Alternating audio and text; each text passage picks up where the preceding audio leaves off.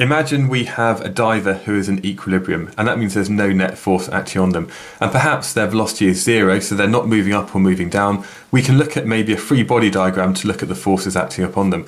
And the force which is acting downwards is equal to weight. But there's also going to be a force which is acting in the upwards direction, the thing that stops them from sinking. And it's this force here that we call upthrust. And this video really explains a bit more about this force called upthrust and Archimedes' principle. Now I'd like to represent this diver by just this uh, straightforward block over here as we consider the forces which are acting on it.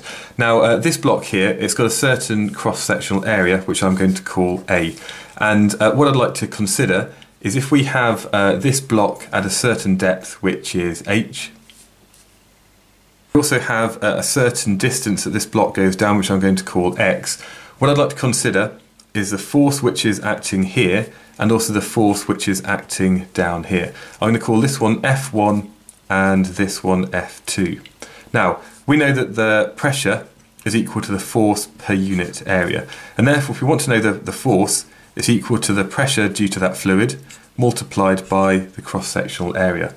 Now, for the force at the very top, which I'm going to call F1, we need to think about the, the pressure at this depth. Now, the pressure at any depth is equal to rho gh. So for force 1, we've got a pressure of rho gh, and we multiply that by the area, which is A. So this is a force acting down on the top of that block.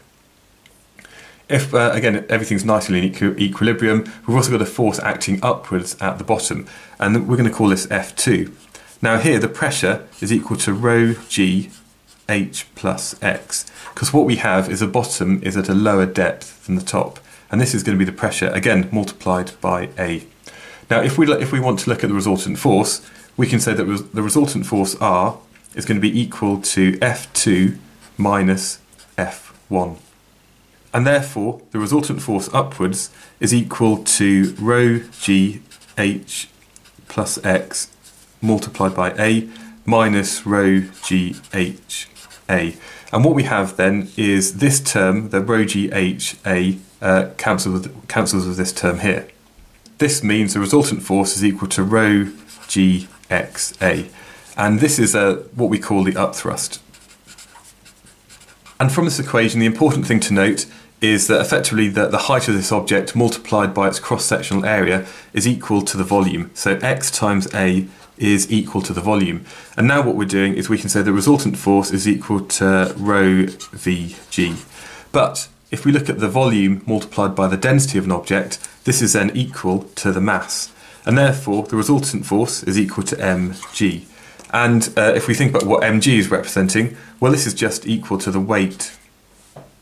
So Archimedes' principle basically states that the, the size of this upthrust on an object or on a body immersed in a fluid, and this could either be partially or completely submerged, is equal to the weight of fluid that that body displaces.